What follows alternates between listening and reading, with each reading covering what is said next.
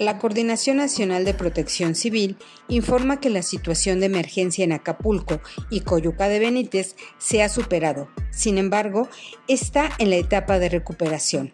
La coordinadora dice que no existe límite de recursos para el abastecimiento de comida, agua potable, enseres y apoyos económicos a la población de ambos lugares, y que se cuenta con un equipo de 30.000 servidores públicos que trabajan día y noche en la fase de recuperación y reconstrucción. Joe Biden se reunirá con Xi Jinping el próximo miércoles en Estados Unidos.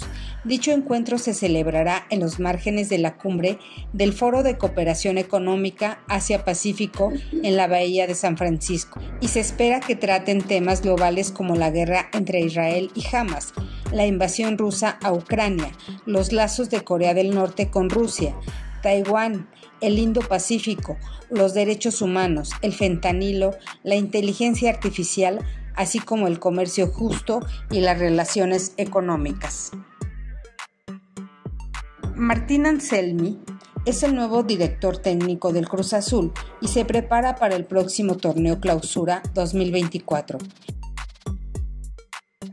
Génesis compite por el mejor álbum de música mexicana. El disco del cantante de corridos rivaliza con Lila Downs, Ana Bárbara y Lupita Infante.